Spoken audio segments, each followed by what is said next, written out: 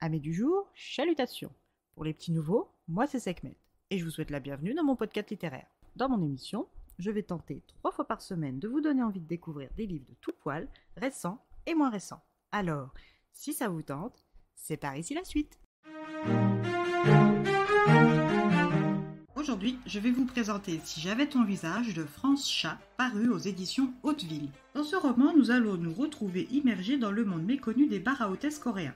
Pour appréhender ce milieu, nous allons faire la rencontre de femmes d'âge, de passé et d'objectifs différents, habitant toutes sous le même toit de leur office-tel, le bien nommé Color House, qui arbore pour seule et unique couleur une magnifique teinte grise agrémentée de lettres blanches. Cet office-tel est situé dans l'un des quartiers de Séoul les plus animés la nuit.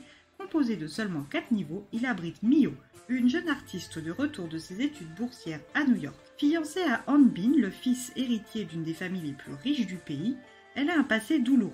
Lorsqu'elle était enfant, elle a été élevée par son oncle et sa tante. Elle vivait avec sa surdouée cousine Kyunji, de 5 ans son aînée. Quand cette dernière a eu l'opportunité d'évoluer plus vite dans ses études, ses parents modestes ont commencé à chercher partout des moyens d'économiser pour aider leur fille prodige.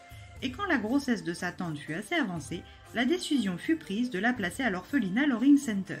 C'est donc une Mio collégienne qui s'est retrouvée seule sans aucune famille qui va devoir se construire un avenir. L'aide providentielle de la directrice Miss Loring va lui permettre de quitter la misère et de rencontrer un monde de privilégiés jusqu'à penser en faire partie intégrante. Mais beaucoup moins naïve qu'elle ne le laisse penser, Mio sait se défendre et se battre. Et ce n'est pas un homme ou une société de paraître qui la freinera. Ensuite, nous rencontrons Ara et Sujin, les deux amies d'enfance de Mio, ayant elles aussi fait un passage par l'orphelinat Loring Center dans le petit village de Cheongju, à 3 heures d'autocar de Séoul. Ara est coiffeuse dans un salon de la ville, elle travaille de 10h à 22h tous les jours sauf le dimanche et gagne très peu. Elle accepte cette situation sans broncher car elle sait que son handicap ne lui permettra pas de retrouver facilement un emploi malgré ses atouts reconnus de coiffeuse styliste. Muette depuis une agression, elle survit au regard et à la désobligeance des gens. Ara fait son chemin sans se retourner grâce à l'amour qu'elle porte à son K-pop idol. Son amie Sejin, quant à elle, est une prothésiste ongulaire qui rêve de devenir hôtesse dans un bar,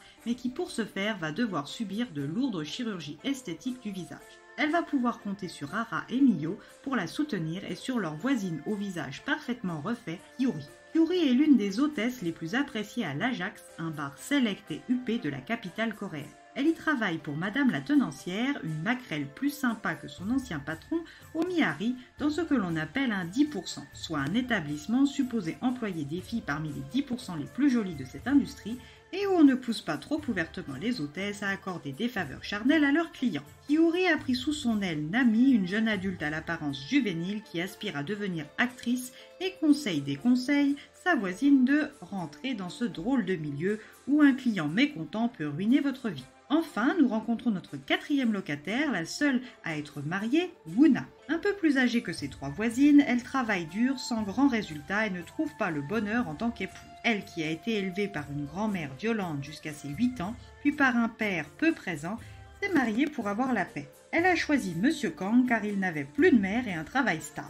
Mais cette vie ne lui convient pas. Les soirs, pendant que son mari dort, elle observe les allées et venues de ses trois voisines du palier du dessous avec envie. Après trois fausses couches, cette quatrième grossesse ne la met pas en joie et son mari n'arrive toujours pas à lui apporter les bonheurs, mais cet enfant, s'il tient bon, le pourra peut-être, tout comme l'intégration dans ce groupe de filles, aux horaires décalés qui l'intriguent, la motivent et l'inspirent tant. Alors soyez prêts, amis lecteurs, à vous confronter à une société coréenne bien différente des K-dramas.